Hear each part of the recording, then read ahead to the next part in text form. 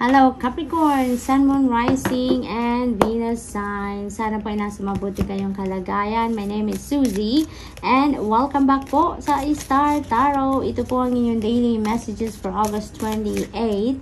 At maraming salamat po sa inyong suporta sa ating channel. Kung bago po kayo rito, welcome po kayo dito. Sobrang welcome kayo sa ating channel.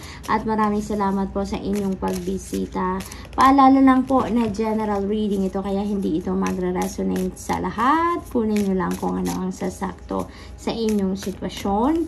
At kung hindi naman po mag-resonate sa inyong mga mensahe, maaari pa rin ninyong i-claim po lahat ng positive energies and positive messages na mapipick up ninyo sa reading na ito. Thank you!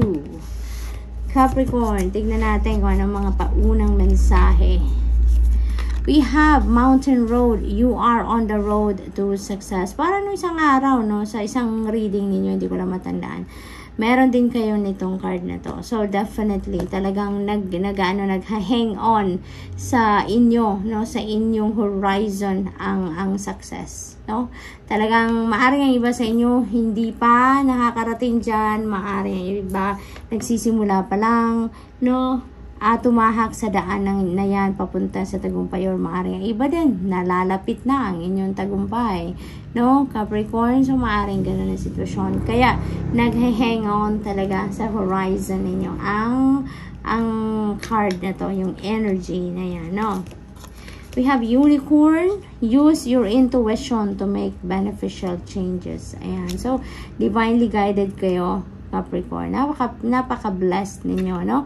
Kasi binibigyan kayo ng mga downloads, binibigyan kayo ng mga um, intuitive messages dito that is uh, uh, will serve as a guide para sa inyo so that kung ano man ang mga gusto ninyong uh, gawing pagbabago sa buhay ninyo ay yung makakasiguro kayo na nasa tamang direksyon ang ang tinatahak ninyong daan dito sa pagbabagong gusto ninyong gawin, no? We have the energy of the candle. You will be shown the way. ang ganda, diba? Ayan, spiritually guided talaga kayo Capricorn. Tulad ng sinabi ko kanina na gagabayan kayo. And here you go. Sinasabi ulit niya na you will be shown the way. Papakita talaga sa iyo ng divine universe dito. And the rest of your spirit team, yung daan na dapat mong tahakin, you will be shown the way. So, feels like marami talagang gabay, downloads, maaring signs, symbols, omens, and synchronicities ang ipinapadala sa inyo Capricorn and Divine Universe in order uh, to guide you, no? Kung ano man ang endeavor na inyong gagawin, maaaring yung mga gabay na to, you know, is para tulungan ka kung paano ka makarating doon sa tugatog ng tagumpay, Capricorn. So, napakahalaga na papansinin ninyo yung mga signs and synchronicities na nakikita ninyo, no? At uh, napakahalaga din na lagi ninyong papakinggan no, kung ano man ang bulong sa inyo ng inyong intuition. Dahil yung mga mensahe na yan ano, na nare-receive ninyo through your intuition, that is a direct message from the divine. Okay, Capricorn? We have good news. Wow, magandang balita ang parating sa inyo, Capricorn. No, this could be in any area of life. Maaaring related dito sa trabaho, sa career, sa pamilya, sa relationship, or sa pera. We have older woman dealing sa relationship with an older woman. This could be your grandma, no? Capricorn, maaring grandma mo to. Maaring ito yung may hatid na magandang balita, no? Sa'yo or maaaring yung magandang balitang ito is manggagaling dito kay older woman. We have box. You will receive a gift. Ayan. So, wow. Maaaring yung good news na to, babalita sa inyo na si older woman ay merong padalang regalo para sa inyo. No? This could be anything. No? This could be anything. Anything is possible dito, no? Na mga regalong maaring matanggap ninyo. We, we don't know yet kung ano to kasi nakasara pa ang box, no? But definitely, this could be tangible. This could be non-tangible. Either or, no? Depende sa magpapadala sa inyo ng regalo. Kaya, napakaganda, no? Napakaganda talaga ng mga mensahe ninyo. Parang, ano siya, uh, very light, and very spiritual, no? Holy moly, Capricorn, the most difficult part of a situation is over. Ayan. So, maaaring, ano to, maaaring may mga plans kayo na ginagawa, maaaring nag, nag, na, sa planning stage kayo, nag-strategize kayo, and maaaring nagkakaroon kayo dyan ng, ng problema, no? Nahihirapan siguro kayo. But now, no? Sinasabi dito na the most difficult part of a situation is over. So, tapos na, no? Maaaring nahanapan na ninyo ng magandang uh, paraan kung paano ninyo mas ma maisasaayos or mapapaganda ang plano ninyo, no? Maaaring di, yung mga detalye na kailangan ninyo, nakuha nyo na, yung mga ganun ba, no? Kaya, masaya na kayo ngayon. No, masaya na kayo at uh, handa na kayong i-roll out na kung ano man ang mga pinaplano ninyo, no? Kasi nalampasan nyo na yung difficult uh, stage dito ng pagpaplano, no? Maaring ganun ang sitwasyon. We also have dog barking advice from a friend. Ayan. So, meron kayong kaibigan dito na talaga namang mag bra bra bra bra bra sa inyo. And that is a very, ano, uh, very wise advice. Yan ang aking napipick up dito. Na maaari talagang papakinggan ninyo at maaaring i-consider ninyong sundin kung ano man ang advice niya. No? Kasi ang napipick up ko dito, yung, yung advice na to, yung kaibigan nyo na to, you know, lagi siyang nandyan. No, lagi siyang nandyan. Maaring lagi mo siyang hinihingian ng opinion, maaring hinihingian mo siya lagi ng kanyang input. Kaya yung parang ang friendship din ninyo, is very deep na, no? Parang kapamilya mo na siya. Kung ituring mo parang kapatid, no? Yung ganon. Kaya, uh, it feels like to me na maaring siya yung channel, no? Ng Panginoon uh, sa inyo para siyang maghatid siya yung magbigay sa iyo ng ng uh, direction on where you are going to to go kung saan kayo uh, mas magandang pumunta or ano yung mas maganda ninyong gawin. Maaring ganun, ano? Kasi nakadikit din siya dito sa you will be shown the way. So, maaring yung through this person, through this friend of yours, maaring doon idinadaan din ng divine universe ang mga advice or yung mga gabay niya para sa'yo, no? Kasi maaring ang iba sa inyo, nami-miss out ninyo, ba? Yung ano, ba't nakabuka na siya? Na siyang dati, nakakaloka. So, ito, so parang ano na siya, yung uh, maaring hindi kayo nagkakaroon talaga ng oras or maraming panahon para madiscover ninyo or mapakinggan ninyo kung ano ang gabay sa inyo ng Panginoon. Kaya, maybe He is sending people, no? Tulad nito, yung kaibigan mo na to. Maaring He is sending you that person para siya yung magiging uh, daan no ng Panginoon para makapaghatid sa iyo ng gabay. So, yung final message ninyo is scales. Keep your life in balance. Okay? Laging nasa balanse. Isipin ninyo na kahit marami kayong ginagawa, you should always be ano on the center of everything. Okay? Dapat lagi kayong relax. Dapat nakakapag-concentrate kayo uh, bawasan ang pag stress as much as possible. Alisin ang mga bagay na nagkukus, na nagkukos ng stress sa, sa sarili ninyo. You know, ibalanse mo lang ang lahat. No? Make sure that you always have time for everything sa buhay ninyo. No? At uh, ilagay sa top priority ang inyong well-being. Ito, ilagay ninyo sa top priority ninyo ang pangangalaga ng inyong pangangatawan. Okay? Yun ang pinaka-importanteng uh, dapat inuuna ninyo. Okay? Yung self-care. So, Capricorn, that's all I have for you for today. I hope nakatulong ang mga mensaheng ito in some way. Thank you for watching. Love and light. Namaste. Hello, Virgo, Sun, Moon, Rising, and Venus sign. Sana po nasa mabuti kayong kalagayan. My name is Suzy and welcome back po sa Star Tarot. Ito po ang inyong daily messages for August 28. At maraming salamat po sa inyong suporta sa ating channel. Kung bago kayo rito, welcome po. At kung hindi pa kayo nakakapag-subscribe, subscribe na kayo para updated kayo sa mga readings. And uh, general reading po ito, kaya hindi ito magre-resonate sa lahat. Kunin nyo lang kung ano ang sasakto sa inyong sitwasyon. At kung hindi pa po ito then mag-resonate sa inyo, you know, you can still, ano, claim the, all the positive messages and energies na mapipick up ninyo sa reading na to. Thank you.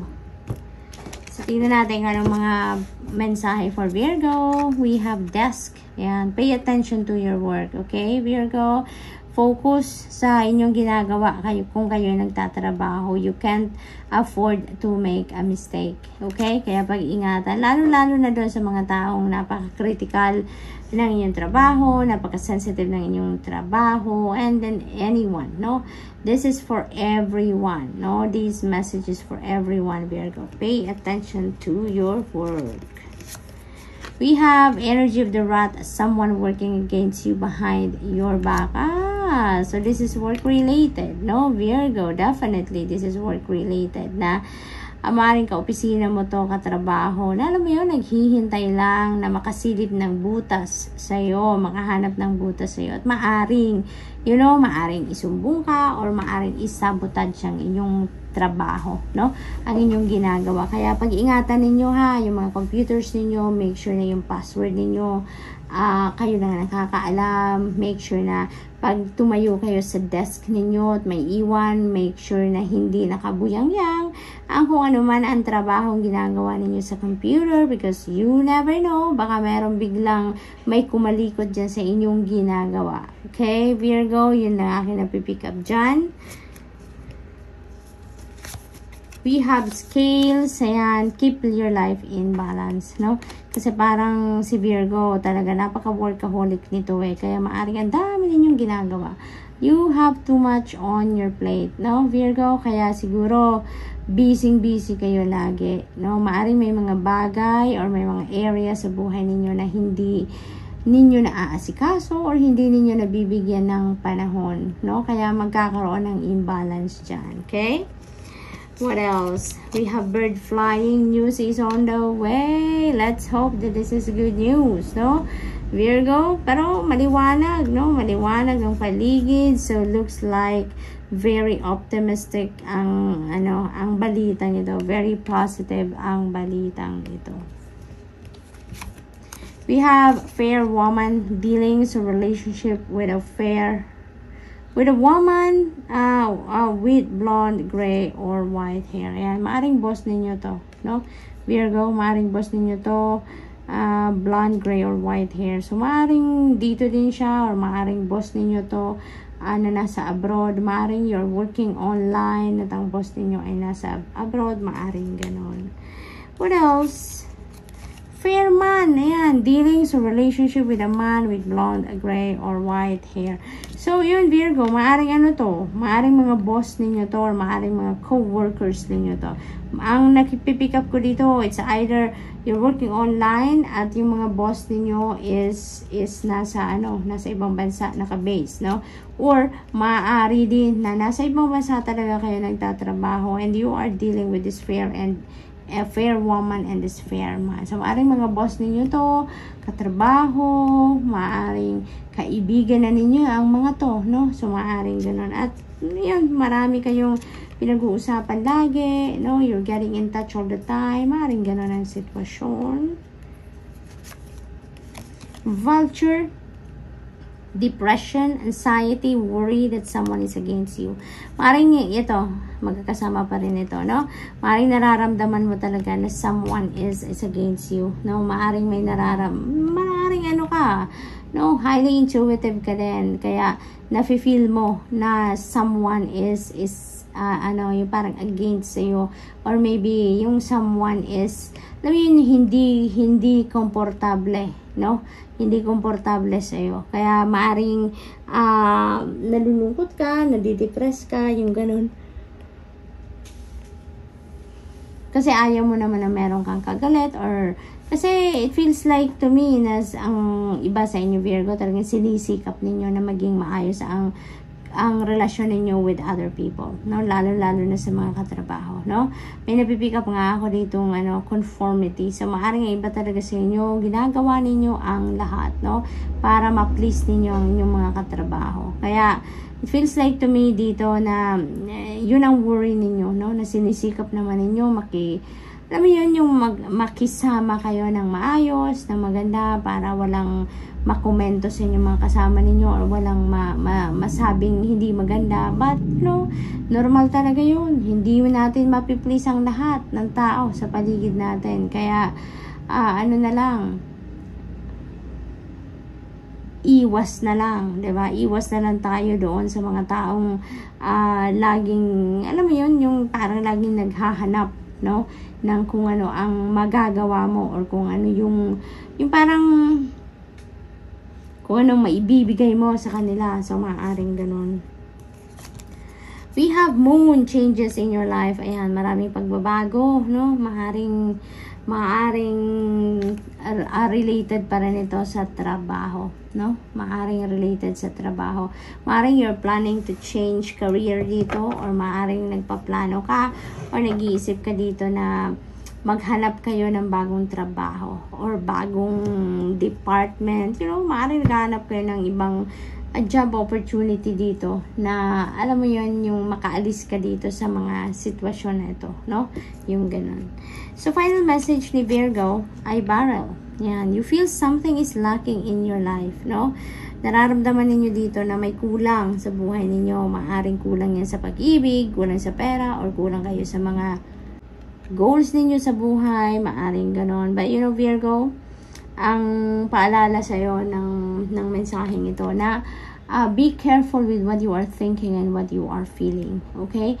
Kasi napaka-powerful ng ating mga feelings, ng ating mga thoughts. Kung ano ang nandyan sa, sa inner world natin, kung ano ang nasa isip at nasa damdamin natin, yan ang nagta-translate sa ating 3D reality. Kaya kung gusto ninyo na maganda, abundant, prosperous ang maging buhay ninyo, no, simulan ninyo sa isip pa lang. Sa isip pa lang, think positive at uh, think that you are abundant and you are prosperous nang sa gayon, you know, yun ang mangyari sa buhay ninyo. Yun ang ma-attract ninyo, no? Na energy sa buhay ninyo. Okay?